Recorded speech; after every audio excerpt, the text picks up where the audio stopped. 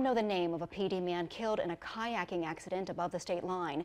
Park officials say 72-year-old Ross Fulcher from Florence died Saturday morning shortly after his kayak flipped near the Cape Point campground in Buxton, North Carolina. They say folks swam out to help him and started CPR, but it was unsuccessful. Officials are still investigating.